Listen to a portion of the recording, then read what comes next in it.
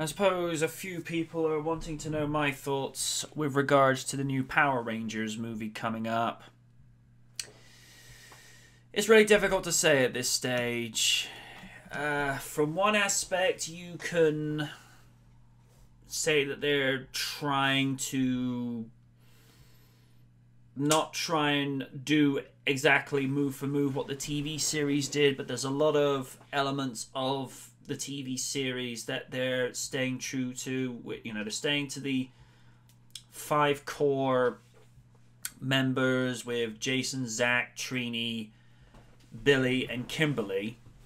I like that this time they're not repeating the same mistakes with regards to what um, Power Ranger um, suit designation they had for with Zach and Trini originally, because Zach, who was played by Walter Jones, was the Black Ranger, and the late Thuy Trang, Thuy Trang, hope I said that right, was designated as the Yellow Ranger.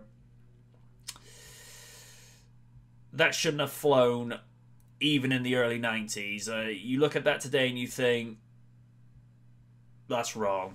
That's just so wrong. So I'm glad that they did the switch this time around where um, the Black Ranger is played by, I think it's a Canadian Asian actor, and Trini is played by Becky G, who's a rapper, songwriter. I'm actually just going to look up real quick um, who Zach is being played by Power Rangers film. He is being played by uh, Luddy or Ludi Lin. I'm hoping I pronounced that uh, correctly. And you know, Billy is being played by R.G. Cyler, so he's going to be the first uh, black actor to play. Actually, no, no, no, no, no, no, no, no, no, no. Excuse me. He's the. I think he's the second black actor to play the Blue Ranger because, best to my knowledge, um, in Power Rangers in Space, that uh, the actor for that who played uh, TJ was the first one to do that, and he was also the first uh, black actor to play the Red Ranger. And you know, I thought he was a very good Red Ranger, very no nonsense, get on with it kind of guy. I like, you know, I like characters like that. Um, I'm gonna get into some of the specifics. I'm a little, I was a little bit thrown off that they're gonna make um, Jason and Kimberly a potential love interest, which I thought, okay, okay, that's different. Uh, I know little to nothing about um, Dacker or Dakri. I don't know how you pronounce his first name, so do correct me in the comment section below if I've done if I pronounced it wrong, which chances are I have. Um, Naomi Scott is Kimberly. I thought I was looking at a younger version of Amy Jo Johnson because the resemblance is uncanny, to say the least. The only thing we've seen in the trailers is Jason looks as though he's he looks as though he's paying penance for something that he did wrong. Kimberly is to be fair, Kimberly was a valley girl in the original, so her being placed with, you know, the socialites that only care about social upstanding in this modern day in this modern day and age, that pretty much translates well. Not really is a lot a lot is known about Trini in this variation. Only that she seems to be a lot more vocal than the original version. Billy is still the socially awkward nerd. So, you know, what was, you know, translated well in the early 90s, that's pretty much um, still a thing in this modern day and age. Zach, we haven't even heard him utter a word the the suits it's an improvement over the TV suits because um, what people need to remember is uh, when Saban originally adapted this after seeing uh, Super Sentai Zyuranger, he had to pretty much keep the same consistency with what the actors wore in Japan.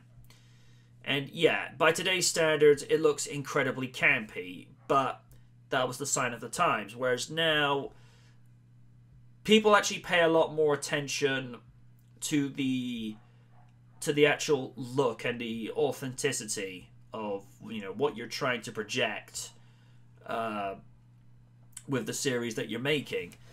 And you know we've all heard the jokes. You know this was a creation of Stark Industries, but just look at it for what it is. I mean, they basically are. Um, you know, and this depends on your perspective. They are basically either a ripoff of the Iron Man suit from the Marvel Cinematic Universe, or they're inspired. But either way, this is a huge step up over the original suits. I mean, in all honesty, it wouldn't have been such a bad thing if they had just taken the suits that they'd had in the original 1995 movie. I can't believe it's been 22 years since that. And, you know, that movie is a product of its time as well. But in terms of the upgrades that it got from the TV series, that you know, I'll take those suits any day. Although, from what I understand with regards to the cast, apparently those suits weighed up to about something close to thirty pounds, which you know that's a that's a lot of heavy, um, you know, costumes to wear. But the the flip side to that is you know you they had to make these suits look as though they actually had power to them and not something you just you know pull a zipper down and you just take them off so from that an- angle alone at least you know that you know they're actually making it look plausible the morphers look a lot more alien which i think yeah okay yeah you know um I can get behind that, and also they're not being, they're not deviating away too much from what we remember. Now it's been emerged more, you know, with more details. Now, when they it was revealed Bryan Cranston as Zordon, first of all, great casting because this guy's a great actor and a great voice actor, and he actually voiced some of the monsters back in the back in the day on Power Rangers. So this is coming full circle for him. And I don't know exactly uh, what look we're gonna get. I know there was a uh, like a VIP VR um, invitation for people at a uh, I think it was at a Samsung convention, and you could actually see what Zordon looks like in this VR experience. Surprised um, Saban hasn't brought back VR Troopers because you know that was uh, that was an okay show. Wasn't Power Rangers in terms of popularity, but then again, what was? And it'll be interesting to see what particular um, direction they're going to go with Zordon this time. He's still going to be the mentor, but now it's emerged that he's the original Red Ranger which is different because as we know from the uh, precedent that was set with the original series he was a wizard that he did not create the original um, six power coins that was ninjor sealed in i think it was in the desert of despair from the context of what they went with for season three with the ninja quest and Rita Repulsa, who's being played by Elizabeth Banks, who you may know as Peggy Brant from the original Spider Man trilogy, is playing Rita Repulsa.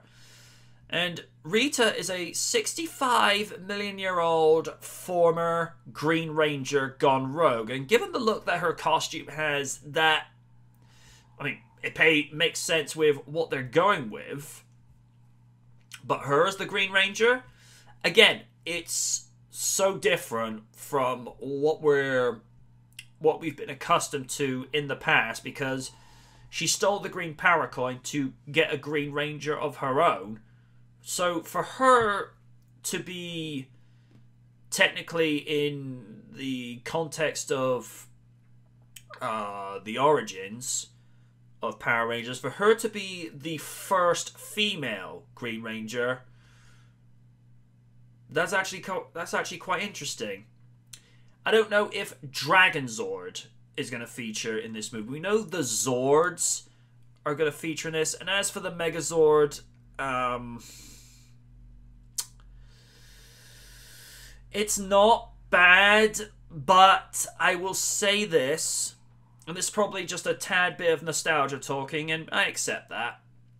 But in all honesty, I think a more modernized look of the original Megazord would have been more plausible because I look at um, the Megazord that they're going with for this movie and I'm like, really? That's it? Again, you know, other people will probably be more inclined to accept this. I'm looking at it and I'm like, nah, just it, it, nah, no. So, yeah. And then we get to um, the situation with Goldar, where he is scattered all across the earth in golden dust, which I thought, okay, um, that kind of makes sense, you know, because you know, relation to his name Goldar. But then Rita has to go rob a bank in downtown Moscow, and I'm like, what? It's like, why is Rita robbing? It's like, you know what? I don't know. And the general tone of the movie, and again, I appreciate they can't make it campy. Um, you know, to try and fit in with, um, you know, with the transition that the world has gone through. But it feels as though it's trying to be dark and gritty just because Batman did it. And, you know, this is the thing. I've got to. I gotta make this very clear. The dark and edginess that worked for at least one of the uh, Dark Knight uh, movies from Christopher Nolan. Batman Begins, you could do a dark and realistic Batman movie. It can be done. And, you know, with the direction that he went with, it works for Batman. But the problem is, so many studios have copied this template that it's not special anymore. It's become cliche and not in a good way. You know, I'm all for you know trying new stand, new stamps, and new spin and a new spin on things, but I would have preferred if the Power Rain this Power Rangers movie would go with a direction whereby there are stakes. Uh, you know, in this movie, but not edgy and dark, and every emo stereotype out there just for the sake of. I would rather. I'd rather they take an influence from the the first Avengers movie, whereby again there are stakes to it, but they know where to put humor in. And that's a thing that you know I echo from the 2015 end of year panel, um, and you know where Nick Nugent was uh, one of the uh, guest panelists. Um, you know, a lot of these movies now, where it's this very, you know, where they go into you know these films that are based on realism, it's very hospital sterile um, depressingness. Whereas the Marvel movies, you have fun with it. You know, this is a good movie. I'm I'm just gonna just have fun with it, and I think that's what a lot of movie studios need to actually take with that mindset today. It's like, you know, we've done the whole gritty, hard hitting reality realism. People are kind of sick of it, you know. Uh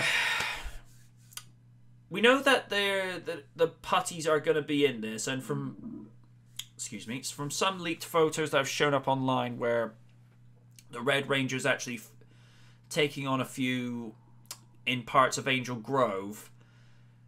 Um, it's basically guys wearing, uh, for lack of a better description, green screen suits, whereby you know the, the actors in questions are just wearing these suits that can then later have the the texture and the skin of the putty placed onto them. So that aspect, I like that. You know, the Rangers are not going to be reacting to nothing. They are actually going to be interacting, and that makes and that's actually a lot better because at least then they can react accordingly to what's going on in the environment with regards to filming. Um, and they're not having to react to nothing. But we know they had to one time in the season two episode with the saxophone monster, I think. And that's the one where, you know, they're, they're sort of clouded with this dust and I think they're seeing old enemies, but really they're. There's an expression I, I like to use from time to time. They're just having a funny five minutes. We'll leave it at that. But yeah, what do you think about the development, the developments of the Power Rangers movie coming out? I'm cautiously optimistic. I want to give it a chance, but I don't know. Hashtag Power Rangers. Until then, good night from the Knight.